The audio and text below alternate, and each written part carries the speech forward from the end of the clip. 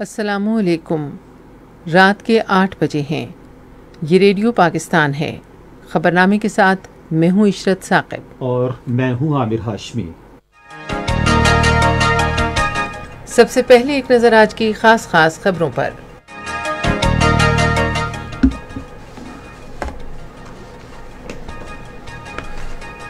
वज़ीर अजम तीन रोजा सरकारी दौरे पर तुर्की रवाना हो गए हैं, जिसका मकसद दोनों बिरादर मुल्कों के दरमियान दोस्ताना ताल्लुक को मजीद फरोग देना है। तुर्की रवानगी से पहले एक ट्वीट में वज़ीर अजम ने कहा कि ये इलाकाई रवाबित के फ़रोग, तरक्की और मुश्तर मंजिल के हसूल का दौर है। तुर्की के खबर रसा इदारे से इंटरव्यू में शहबाज शरीफ ने कहा है कि पाकिस्तान और तुर्की के दरमियान दो तरफा इलाकाई और कसी जहती फोरमों पर करीबी रवाबित हैं। विफाकी काबीना ने आजमीन हज को रिलीफ की फराहमी के लिए हर आज़म हज को डेढ़ लाख रुपए की इमदादी रकम की मंजूरी दी है। हुकूमत ने पेट्रोलियम मसनूआत की कीमतों में इजाफे के पेश नज़र मुस्तक खानदानों में रिलीफ की फराहमी के लिए 28 अरब रुपए की एनत की मंजूरी दी है। बहरिया के सरबराह ने जज्म का अदा किया है कि पाक बहरिया में अपने असासों का तहफ़ यकीनी बनाने के लिए फ़ाल हिफाजती कल्चर पर अमल किया जाता है। सिंध हुकूमत ने सूबे में बैराज की बेहतरी के लिए अड़तीस करोड़ डॉलर से जायद मालियत के मंसूबे पर काम शुरू किया है।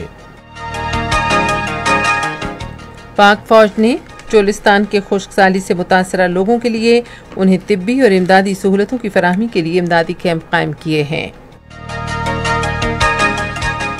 पाकिस्तान ने यूक्रेन की दरखास्त पर वहाँ के जंग ज़्यादा लोगों की इमदाद के लिए इंसानी इमदाद की दूसरी खेप भेजी है। आज़ाद कश्मीर के सदर ने कहा है कि मसला कश्मीर उजागर करने और भारत का मकरू चेहरा दुनिया के सामने बेनकाब करने के लिए बहुत जल्द मौसर सफारती मुहिम शुरू की जाएगी। भारत के गैर कानूनी जेर कब्जा जम्मू कश्मीर में भारतीय फौजियों ने अपनी रियासती दहशत गर्दी की ताज़ा कार्रवाई में आज जिला पुलवामा में मजीद दो कश्मीरी नौजवानों को शहीद कर दिया। यूरोपीय यूनियन के रहनुमाओं ने 27 रुकनी ब्लॉक के लिए रूसी बरामदात पर पाबंदी लगाने पर इत्तेफाक किया है। और खबरों की तफसील के लिए पहले आमिर हाशमी। शुक्रिया साकिब। वज़ीर अजम शहबाज शरीफ तीन रोज़ा सरकारी दौरे पर तुर्की रवाना हो गई है। विफाकी वज़ीर ख्वाजा मोहम्मद आसिफ, मरियम औरंगज़ेब, चौधरी सालिक हुसैन और फहद हुसैन भी वक्त में शामिल हैं। वज़ीर खारजा बिलावल भुट्टो जरदारी भी तुर्की में वज़ीर अजम के वफ्त में शामिल हो जाएँगे। दौरे के दौरान वज़ीर अजम सदर रजब तैयब अर्दवान के साथ अलीदगी में मुलाकात करेंगे, जिसके बाद वफद की सतह पर मुजाकर होंगे। वज़ीर अजम पाकिस्तान तुर्की बिज़नेस काउंसिल फोरम में शिरकत करेंगे, जहाँ वो तुर्की के नुमाया कारोबारी अफराद और मुख्तलिफ़ शोबों में मुमकिन सरमाकारों से मुलाकातें करेंगे। इन मुलाकातों के दौरान वज़ीर अजम पाकिस्तान में मुमकिन सरमाकारी के वसी मौाक़े उजागर करेंगे और तुर्क कंपनियों को पाकिस्तान में सरमाकारी और दोनों मुल्कों के दरमियान तजारती और मुआशी ताल्लुक को मजीद मुस्तकम बनाने की हौसला अफजाई करेंगे। उधर रवानगी से कबल एक ट्वीट में शबाज शरीफ ने कहा कि पाकिस्तान और तुर्की के लिए वक्त आ गया है कि वो अपनी शानदार दोस्ती को मजीद मुस्तकम करके दो तरफा ताल्लुक को और बेहतर बनाएँ। उन्होंने कहा कि ये इलाकई रवाबित के फ़रोग, तरक्की और मुश्तर मंजिल के हसूल का दौर है, जो एक नई सोच का तकाजा करता है। वज़ीर अजम ने कहा कि वो तुर्क क्यादत के साथ इस मामले पर तबादले ख्याल करना चाहते हैं। इससे पहले तुर्की की खबरसा एजेंसी अनादोलो से एक इंटरव्यू में वज़ीर अजम शहबाज शरीफ ने कहा कि पाकिस्तान और तुर्की के दरमियान दो तरफा इलाकई और कसीरजहती फोरम्स पर करीबी इश्तराक मौजूद है। उन्होंने कहा कि इलाकई और आलमी मसाइल के बारे में पाकिस्तान और तुर्की यकसा ख्याल रखते हैं। शहबाज शरीफ ने कहा कि जम्मू कश्मीर और शिमाली कब्रस समेत कौमी दिलचस्पी के तमाम अहम मामला पर पाकिस्तान और तुर्की एक दूसरे की हिमायत करते हैं। वज़ीर अजम ने कहा कि रवा बरस दोनों ममालिक सफारती ताल्लुक के क़्याम की पिछहत्तरवीं सालगिरह मना रहे हैं। उन्होंने कहा कि इन साढ़े सात दिहाइयों के दौरान तमाम तर तब्दीलियों के बावजूद दोनों मुल्कों ने हमेशा एक दूसरे का साथ दिया है।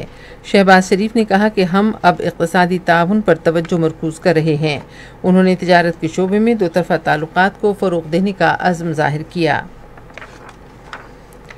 विफाकी काबीना ने पाकिस्तान तहरीक इंसाफ का लॉन्ग मार्च मुस्तरद करने पर कौम को मुबारकबाद दी है और कानून नाफिज करने वाले इदारों को अपने फ़रज़ बखूबी सर अंजाम देने पर सराहा है। ये बात वज़ीर दाखिला राना सनाउल्ला ने वज़ीर मवासलात मौलाना असद महमूद और वज़ीर अजम के मुशीर कमर जमा कायरा के हमरा सहाफ़ियों को विफाकी काबीना में किए गए फैसलों के बारे में बताते हुए कही। विफाकी काबीना का अजलास आज इस्लामाबाद में वज़ीर अजम शहबाज शरीफ की सदारत में हुआ। विफाकी काबीना को ये भी यकीन दिलाया गया कि मुस्तबिल में किसी भी रियासत मुखालिफ लॉन्ग मार्च से आहनी हाथों से निमटा जाएगा। वज़ीर अजम शहबाज शरीफ ने बताया कि उन्होंने वजारत दाखिला और कानून नाफिज करने वाले इदारों को हिदायत की थी कि लॉन्ग मार्च के दौरान अपने साथ असलहा न रखें। वज़ीर दाखिला ने कहा कि तहरीक इंसाफ के सरबराह ने अपने मार्च में खैबर पख्तूनख्वा के वसाइल इस्तेमाल किए। उन्होंने कहा कि ये जमहूरी मार्च नहीं था और उन्होंने विफाकी काबीना को तजवीज़ दी कि वह मार्च में तशद करने वालों और विफाक के खिलाफ इश्तारंगेज़ बयान देने वालों के खिलाफ पाकिस्तान पीनल कोड के तहत फौजदारी मुकदमात के इंदराज की इजाज़त दे। ये कोई जमहूरी मार्च नहीं था। तमाम एविडेंस हमारे पास मौजूद है। ये एक फितना और फसाद मार्च था। इसलिए ये एक क्रिमिनल एक्ट है, जो पाकिस्तान पीनल कोड के तहत काबिल सजा है। आज तजवीज रखी है कैबिनेट के सामने कि इसका मुकदमा दर्ज करने की इजाज़त दी जाए। उन्होंने कहा कि वज़ीर अला खैबर पख्तूनख्वा के इश्तियाल अंगेज बयान का जायजा लेने के लिए एक कमेटी तश्कील दी गई है। वज़ीर दाखिला ने यकीन दिलाया कि किसी को भी विफाकी दारकूमत का मुहासरा करने की इजाज़त नहीं दी जाएगी। मौलाना असद महमूद ने कहा कि हुकूमत किसी को मुल्क के अमन के नुकसान पहुँचाने की इजाज़त नहीं देगी। उन्होंने कहा कि हुकूमती अमलदारी बरकरार रखी जाएगी। हमारी ज़िम्मेदारी बहसीत हुकूमत स्टेट के रिट को हर सूरत कायम रखें। हम किसी को एहतजाज से नहीं रोकते। हम कोई कमज़ोरी नहीं दिखाएँगे जहाँ अमन का मसला होगा जहाँ मीशत का मसला होगा। हम भरपूर कानूनी और आइन के दायरे के अंदर रहते हुए रिट ऑफ़ द स्टेट को कायम रखने की इंशाल्लाह कोशिश कमर जमा कायरा ने कहा कि इमरान खान को ये बात जहन में रखनी चाहिए कि किसी ने भी कानून की खिलाफ वर्जी की तो कानून अपना रास्ता बनाएगा। अगर इस्लामाबाद में या किसी जगह पे लॉ एंड ऑर्डर की सूरत हाल खराब होती है गवर्नेंस बंद होती है रियाती निज़ाम खत्म होता है तो जवाबदेह हुकूमत होगी। और खान साहब, जो कानून तोड़ता है, कानून उसको तोड़। आपने कानून नहीं तोड़ना। आपको कानून के तहत वज़ीर आज़म पाकिस्तान ने ये फिर दावत दी है, आज भी मजाकराती कमेटी बनाने को तैयार हूँ। अगर आप पाकिस्तान के वाकई मिसाइल का हल चाहते हैं तो एक चार्टर की ज़रूरत है चार्टर ऑफ़ इकोनॉमी की भी ज़रूरत है चार्टर ऑफ़ डेमोक्रेसी को आगे बढ़ाने की ज़रूरत है। सियासी और अवामी उमूर के लिए वजी अजम के मशीर इंजीनियर अमीर मकाम ने सुप्रीम कोर्ट और पेशावर हाई कोर्ट से मुतालबा किया है कि वजी अला खैबर पख्तूनख्वा के सूबाई फोर्सेस के विफाकी हुकूमत के खिलाफ इस्तेमाल के गैर जिम्मेदाराना बयान का सख्त नोटिस लिया जाए। आज सवात में प्रेस कॉन्फ्रेंस से खिताब करते हुए उन्होंने कहा कि खैबर पख्तूनख्वा फोर्सेस का असल काम कानून का नफाज है, किसी फर्द के ज़ाती मफादात का तहफ़ करना नहीं है। उन्होंने कहा कि पूरी कौम ने तहरीक इंसाफ के मार्च के दौरान सरकारी जराये का नाजायज इस्तेमाल देखा है। ये खबरें आप रेडियो पाकिस्तान से सुन रहे हैं। विफाकी काबीना ने आजमीन हज को रिलीफ की फराहमी के लिए हर आजिम को डेढ़ लाख रुपए फराहम करने की मंजूरी दी है। इस बात का ऐलान मजहबी उमूर और बैन मजाहब हम आहंगी के वज़ीर मुफ्ती अब्दुलशकूर ने आज से पहर इस्लामाबाद में मीडिया से गुफ्तु करते हुए किया। उन्होंने कहा कि हज अखराज आठ लाख रुपए से ज़्यादा थे और अब ये अखराज तकरीबन सात लाख रुपए होंगे। हमने जो पैकेज का ऐलान किया शिमाली रीजन के लिए, आठ लाख इक्यावन हज़ार एक सौ सत्ताईस रूपए, जुनूबी रीजन आठ लाख सठ हज़ार एक सौ सतहत्तर रूपए। सऊदी अरब के लाजमी हज हराजात चार लाख पैंतालीस हज़ार एक सौ पचपन रूपए और देकर हज हराजात रिहायश ट्रांसपोर्ट खुराक वगैरह, ये दो लाख बाईस हज़ार दो रूपए। तो फिजाई किराया शिमाली एक लाख इक्यासी हज़ार रूपए, जुनूबी एक लाख इकहत्तर हज़ार रूपए। विफाकी वज़ीर ने यकीन दिलाया कि हिजाज मुक़दस में आज़मीन हज के क़्याम को आरामदेह बनाने के लिए उन्हें बेहतरीन सहूलतें फराहम की जाएँगी। पहली हज परवाज इतवार की रात इस्लामाबाद से रवाना होगी। वजारत मजहबी उमूर के मुताबिक सरकारी हज स्कीम के अस्सी फ़ीसद से ज़्यादा आज़मीन हज ने हज कैंपों के ज़रिए अपनी तरबियत मुकम्मल कर ली है। आज़मीन हज को वेबसाइट और मोबाइल पर पैगाम के ज़रिए परवाज़ों के बारे में आगाह किया जाएगा। सरकारी स्कीम के ज़रिए फरीदा हज के आजमीन, P I Airblue, Serene Air और सऊदी एयर के ज़रिए सऊदी अरब पहुँचेंगे। गुर्बत के खात्मे और समाजी तहफ़ की वज़ीर शाजिया मरी ने कहा है कि पेट्रोलियम मसनूआत की कीमतों में इजाफे को मद्देनजर रखते हुए विफाकी काबीना ने मुस्तक ख़ानदानों के लिए अट्ठाईस अरब रुपए की एनत देने की मंजूरी दी है। आज इस्लामाबाद में एक प्रेस कॉन्फ्रेंस से खिताब करते हुए उन्होंने कहा।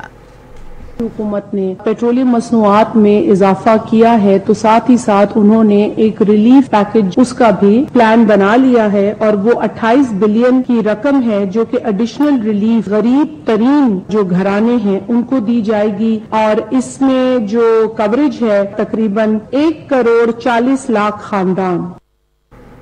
विफाकी वज़ीर ने कहा कि अगले माह से इस पैकेज के तहत हर खानदान को दो हज़ार रुपये माहाना दिए जाएँगे और इस प्रोग्राम से कुल आबादी का आठ फ़ीसद हिस्सा फ़ायदा उठा सकेगा। उन्होंने कहा कि पेट्रोलियम मसनूआत में इजाफा एक सख्त फैसला था, लेकिन हुकूमत ने कौमी मीशत के वसीतर मफाद में ये कदम उठाया। आलमी बैंक ने कहा है कि पाकिस्तान को टेक्नोलॉजी के ज़्यादा से ज़्यादा इस्तेमाल के ज़रिए ज़रात और लाइफ स्टॉक से वाबस्ता अफराद को बाख्तियार बनाने की ज़रूरत है। ताकि ज़रात को मौसमियाती तब्दीलियों के असरा से बचाया जा सके। बैंक ने अपने आर्टिकल में कहा कि खुराक और तोानाई की बढ़ती हुई कीमतों के पेश नज़र निज़ाम खुराक को मुस्तकम करने के लिए हुकूमती अखराज पर मजीद तवज्जो मरबूज करने की ज़रूरत पर भी ज़ोर दिया है।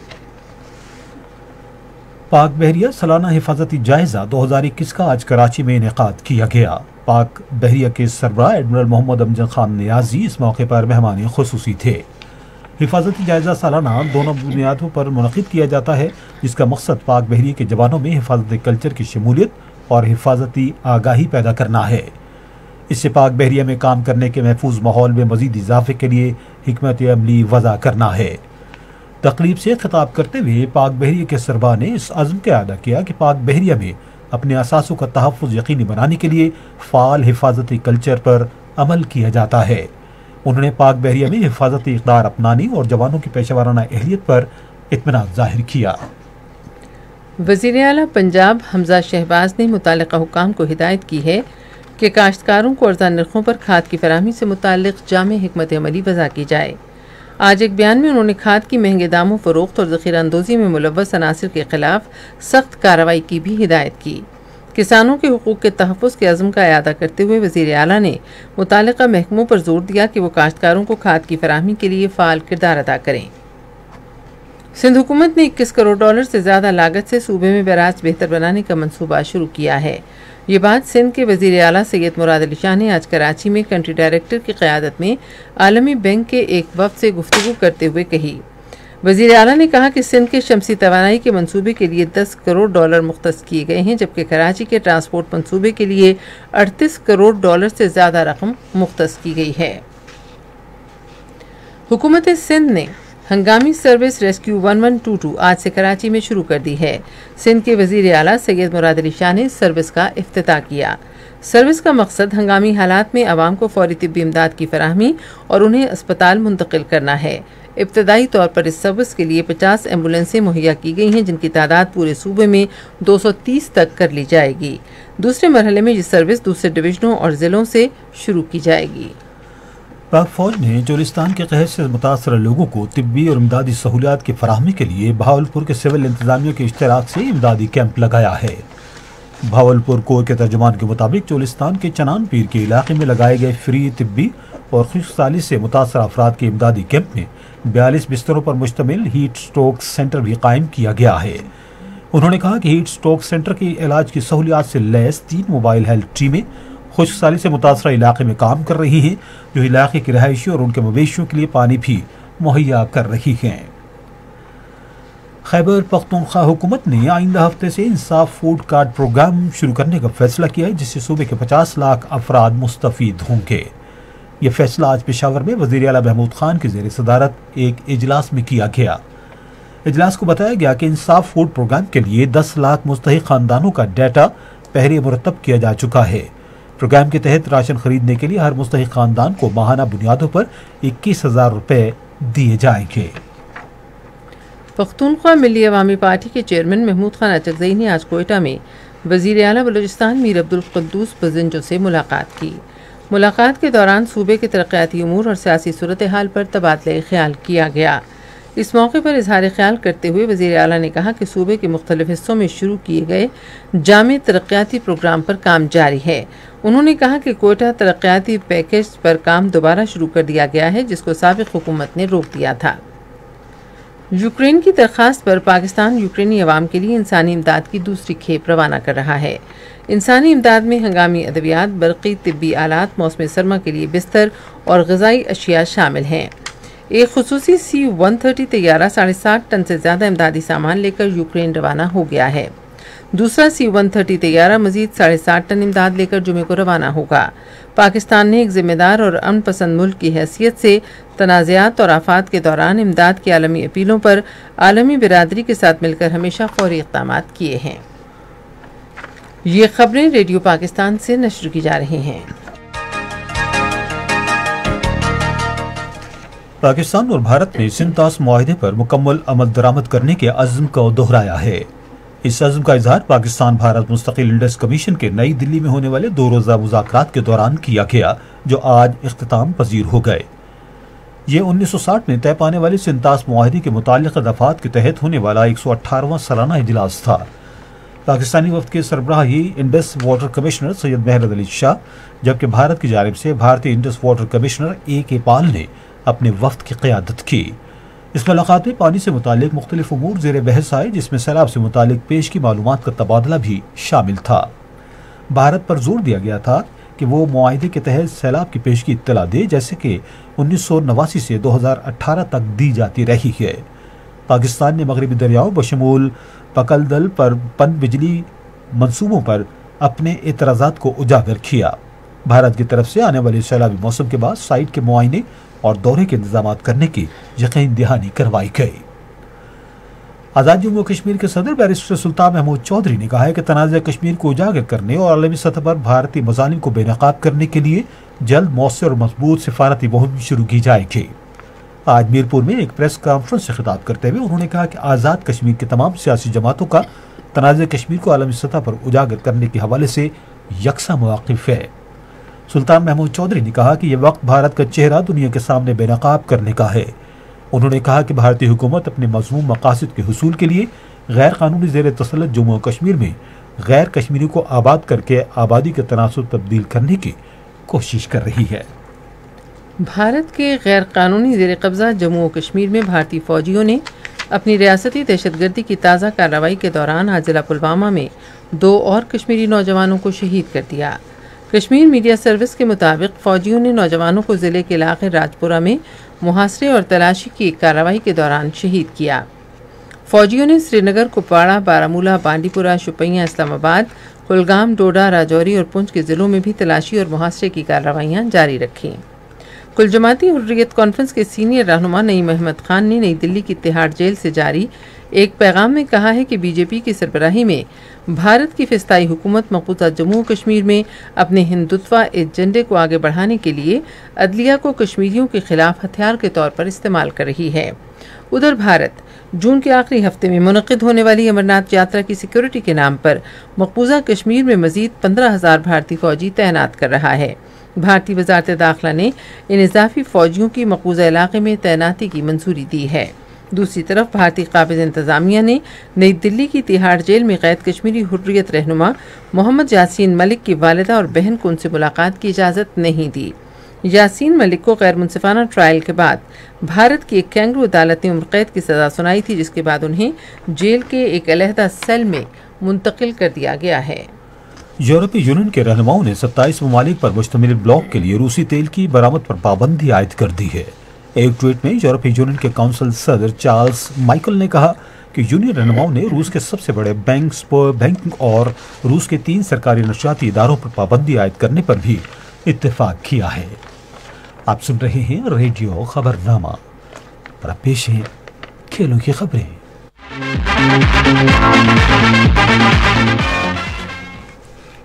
दो हज़ार बाईस, पाकिस्तान और वेस्टइंडीज की क्रिकेट टीमों के दरमियान वनडे इंटरनेशनल मैचों की सीरीज़ का पहला मैच 8 जून को मुल्तान क्रिकेट स्टेडियम में खेला जाएगा। ये सीरीज़ रावलपिंडी में खेली जानी थी, लेकिन गैर यकीनी सूरत हाल के बाईस पंजाब हुकूमत ने इन मैचों को मुल्तान मुंतकिल कर दिया है। मुल्तान में पहले एक रोज़ा मैच की तैयारियाँ क्रिकेट स्टेडियम में जारी हैं। जराये के मुताबिक वेस्ट इंडीज़ के खिलाफ सीरीज़ के सिलसिले में पाकिस्तानी क्रिकेट टीम का तरबियती कैंप यकम जून से चार जून तक लाहौर में मुनद होगा। जिसके बाद ये स्क्वाड पाँच जून को मुल्तान चला जाएगा। वेस्ट इंडीज़ की क्रिकेट टीम छः जून को इस्लामाबाद पहुंचेगी। यहाँ से खसूसी तैयारी के ज़रिए से मुल्तान भेज दिया जाएगा। आठ, दस और 12 जून को मुनद होने वाले मैच डे एंड नाइट होंगे और मैचों का आगाज़ शाम चार बजे होगा। पाकिस्तान की खातन क्रिकेट टीम की कप्तान, बिस्मा मारूफ और श्रीलंका की खातन क्रिकेट टीम की कप्तान, चमारी अथापतू ने साउथ एंड क्लब कराची में वनडे सीरीज़ की ट्रॉफी की नकाब कुशाई की। पीसीबी के तर्जुमान के मुताबिक तीन मैचों की वनडे सीरीज़ का आगाज़ कल से होगा। इस्लामाबाद में सियासी कशीदगी के बायस फीफा ट्रॉफी टूर 2022 के मुंतजमीन ने ये इवेंट लाहौर में मुंतकिल कर दिया है। फीफा ट्रॉफी टूर के एक अहदेदार ने तस्दीक की है कि टूर की तारीखें तब्दील नहीं की गई और सिर्फ़ मकाम तब्दील किया गया है। फीफा ट्रॉफी सात जून को लाहौर लाई जाएगी और ये मद्दाहों के लिए फ़ुटबॉल के सबसे बड़े नाम को देखने का एक सुनहरी मौका है। दूसरे इमाम रजा बैन अवी एथलेटिक्स कप के दूसरे रोज़ पाकिस्तानी दस्ते ने अपनी बरतरी बरकरार रखी। 200 मीटर रेस में पाकिस्तान के शजर अब्बास ने सोने का तमगा हासिल किया। गुजशत रोज़ 400 मीटर रेस में चांदी का तमगा जीतने वाले मुईद बलोच ने आज कांसी का तमगा हासिल किया। आज ख़त्म होने वाले बैन अवी इवेंट में पाकिस्तान ने सोने का एक, चांदी के दो और कांसी का एक तमगा हासिल किया। तीन रोज़ा रंगारंग सिंदूर पोलो फेस्टिवल इस साल जुकुम जुलाई से शुरू होगा। इस बात का फैसला गिलगित बल्तिस्तान और खैबर पख्तूनख्वा की हुकूमतों ने मुतफ़ा तौर पर किया है। सिंदूर मेला कोरोना की वबा की वजह से गुजशत तीन साल से मुनद नहीं हुआ है। मकामी महकमे खेल के ज़रिए अहतमाम दो रोज़ा अंडर 12 स्पोर्ट्स मेला तीन जून से शुरू होगा। Divisional sports officers Rana Naveed Anjum के मुताबिक 12 साल से कम उम्र बच्चों और बच्चियों की रजिस्ट्रेशन का अमल 3 जून को मुकाबला शुरू होने से पहले उसी दिन 12 बजे होगा। उन्होंने कहा कि वालदेन रस्साकशी फुटबॉल और मार्शल आर्ट समेत दूसरे खेलों के लिए अपने बच्चों का इंदराज करवा सकते हैं।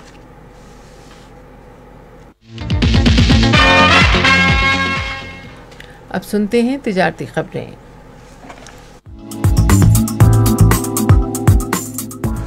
वज़ीर ख़जाना मफ्ता इसमाइल ने कहा है कि मुआशी इसकाम और मौसर फलाही पॉलिसियों के ज़रिए मुआशी नजम जब्त को यकीनी बनाने पर तोज्जो मरकूज करना हुकूमत की अवलिन तरजीह है। इस्लामाबाद में ताजरों के वफ से मुलाकात में उन्होंने कहा कि हुकूमत ताजर बरदरी के मसाइल से आगाह है और उन्हें साजगार माहौल फराम करने के लिए पुरज़म है। उन्होंने ताजरों को यकीन दिलाया कि हुकूमत ताजरों को दोस्ताना माहौल फराहम करने के लिए पुरज़म है। ग्यारहवीं वर्ल्ड पोटैटो कांग्रेस आज से आयरलैंड के शहर डबलिन में शुरू हुई। कांग्रेस में पाकिस्तान समेत साठ से जायद ममालिक से एक हज़ार से जायद मंदूबीन शिरकत कर रही हैं। पाकिस्तान स्टॉक एक्सचेंज में आज तेज़ी का रुझान देखा गया। के एस हंड्रेड इंडेक्स अड़तीस पॉइंट्स के इजाफे के बाद मार्केट के अख्ताम पर तैंतालीस हज़ार अठहत्तर पॉइंट्स पर बंद हुआ। नेशनल बैंक के ऐलान के मुताबिक रुपए और दीगर गैर मुल्की करेंसियों के दरमियान शरह तबादला ये रही। अमरीकी डॉलर कीमत खरीद एक सौ सत्तानवे रुपये छः पैसे और कीमत फरोख दो सौ एक रुपये पचपन पैसे, पाउंड स्टर्लिंग दो सौ अड़तालीस रुपये साठ पैसे और दो सौ चौवन रुपये बत्तीस पैसे, यूरो दो सौ बारह रुपये सत्ताईस पैसे और दो सौ सोलह रुपये इकहत्तर पैसे और यूई दिरहम बावन रुपये इकतालीस, सैंतालीस पैसे और कीमत फरोख तिरपन रुपये अस्सी पैसे। आज कराची में दस ग्राम सोने की कीमत एक लाख सत्रह हज़ार सात सौ तेरह रुपये रही। आप सुन रहे हैं रेडियो खबरनामा, हम चलेंगे फन की दुनिया में। पाकिस्तान के नामवर पसे पर्दा गुलकार, फिल्मी अदाकार, प्रोड्यूसर, हिदायतकार, स्क्रिप्ट राइटर समाजी कारकुन और कॉलम निगार इनायत हुसैन भट्टी की तेईसवीं बरसी आज मनाई गई। इस सिलसिले में सुनते हैं रेडियो पाकिस्तान के नुमाइंदे सज्जाद परवेज की रिपोर्ट। इनायत हुसैन भट्टी सन उन्नीस में गुजरात में पैदा हुए थे। उनकी फिल्मी ज़िंदगी का आगाज़ बतौर गुलकार हुआ था और फ़िल्म हीर, फेरे, लारे और शम्मी वगैरह में उनके गाए हुए नगमात बेहद मकबूल हुए थे। सन उन्नीस सौ तिरपन में फ़िल्म शहरी बाबू में एक फकीर मन साई का किरदार अदा किया, जिस पर उन्हीं का गाया हुआ नगमा फ़िल्म बंद हुआ और फिर यही नगमा उनकी शनाख्त बन गया।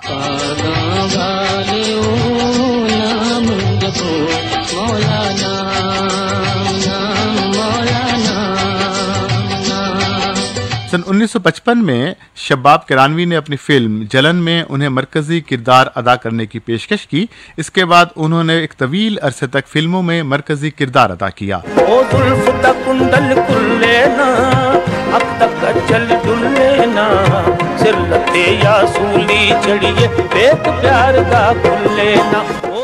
उनकी बतौर अदाकार फ़िल्मों की कुल तादाद चौवन थी जिसमें बावन फ़िल्में पंजाबी जबान में बनाई गई थी।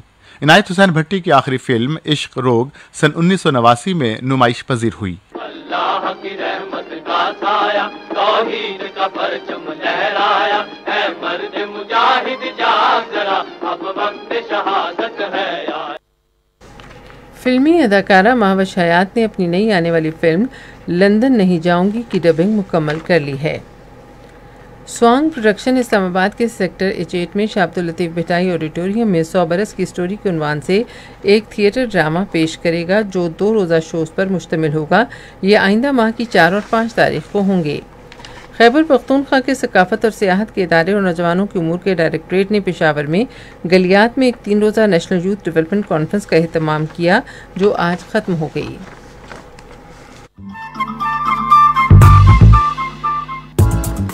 अब चलते हैं साइंस की दुनिया में। गुजशत चंद हफ्तों में मुल्क के मुख्तलिफ़ हिस्सों में इसाल और हैजा के केसेस बड़ी तादाद में सामने आए हैं। एक तहकीक के मुताबिक जेर ज़मीन, पानी में पाने जाने वाले जहरीले अज्जा, इन बीमारियों के बुनियादी वजूहत हैं। रिपोर्ट के मुताबिक बढ़ते हुए वबाई अमराज, मकामी और अलमी माहरीन सेहत के लिए बाईस तशवीश हैं। फ्रांसीसी हुकूमत सरकारी तौर पर अंग्रेज़ी वीडियो गेम असलाहत पर पाबंदी आयद करने जा रही है, जिसका मकसद फ्रांसीसी ज़ुबान को फ़रोग देना है। तफसीत के मुताबिक सरकारी हुकाम को अब इन अंग्रेज़ी असलाहत मसलन ई स्पोर्ट्स और स्ट्रीमिंग की जगह नए असलाहत मुतारफ कराना होंगी। व्हाट्सएप कारोबारी अकाउंट्स की प्रोफ़ाइल में बेहतरी के लिए कवर फ़ोटो का इजाफा करके नया फीचर मुतारफ करा रहा है।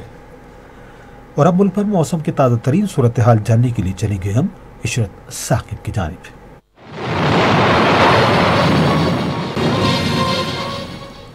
गुजशत 24 घंटों के दौरान मुल्क के बेशतर हिस्सों में मौसम गर्म और खुश्क, जबकि मैदानी इलाकों में शदीद गर्म था। ताहम बालाई खैबर पख्तूनख्वा, कश्मीर, गिलगित बल्तिस्तान और बालाई पंजाब में कहीं कहीं गरज चमक के साथ बारिश हुई। महकमे मौसमियात के मुताबिक आइंदा चौबीस घंटों के दौरान गिलगित बल्तिस्तान, कश्मीर, बालाई खैबर पख्तूनख्वा, इस्लामाबाद, बालाई पंजाब में कहीं कहीं गरज चमक के साथ बारिश का इम्कान है। दूसरे इलाकों में मौसम गर्म और खुश्क होगा। आज सबसे ज़्यादा दर्ज हरारत जैकबाबाद दादू और शहीद बेनज़ीराबाद में सैंतालीस डिग्री रिकॉर्ड किया गया। आज मुल्क के चंद बड़े शहरों के दर्ज हरारत। इस्लामाबाद अड़तीस डिग्री सेंटीग्रेड, लाहौर बयालीस, कराची पैंतीस, पेशावर उनतालीस, कोयटा बत्तीस, गिलगित छब्बीस, मुजफ्फराबाद सैंतीस, श्रीनगर पच्चीस, जम्मू उनतालीस और लेह बीस डिग्री सेंटीग्रेड। अहम खबरों का खुलासा एक बार फिर सुन लीजिए। वजी अजम तीन रोजा सरकारी दौरे पर तुर्की रवाना हो गए हैं जिसका मकसद दोनों बिराद मुल्कों के दरमियान दोस्ताना ताल्लुक को मजीद फरोग देना है। तुर्की के खबर रसा इदारे से इंटरव्यू में शहबाज शरीफ ने कहा कि पाकिस्तान और तुर्की के दरमियान दो तरफा इलाकाई और किसी जहती फोरम्स पर करीबी रवाबित हैं। तुर्की के खबर रसा इदारे से इंटरव्यू में शहबाज शरीफ ने कहा कि पाकिस्तान और तुर्की के दरमियान दो तरफा इलाकाई और कसीर जहती फोरमों पर करीबी रवाबित हैं। हुकूमत ने पेट्रोलियम मसनूआत की कीमतों में इजाफे के पेश नज़र मुस्तक ख़ानदानों में रिलीफ की फरहमी के लिए अट्ठाईस अरब रुपए की एनत की मंजूरी दी है। खबरनामा आपने सुना। पैनल इंजीनियर थे नवीद अकरम। सुपरवाइजर शोबे उर्दू शबनम भट्ट मुदीर होम डेस्क मकसूद रहमान। मुदीर फॉरन डेस्क आयशा इफ्तिकार मुदीर खेल की खबरें इलियास सफदर। मुदीर तजारत, साइंस और फन की खबरें Muqaddas Rauf. Coordination editor S M Abbas. मुदीर आला डॉक्टर जावेद खटक। निगरान आला अब्दुल रऊफ खान। पेश शोबे खबर, रेडियो पाकिस्तान। मजीद खबरों और तजों के लिए आइए हमारी वेबसाइट पर radio dot G O V dot P K और आप रेडियो पाकिस्तान के official Facebook page, radio Pakistan news पर खबरनामे की बरह रास्त वीडियो स्ट्रीमिंग भी मुलाहजा कर सकते हैं। इसी के साथ इस साकिब और आमिर हाशमी को इजाज़त दीजिए। अल्लाह निगबान।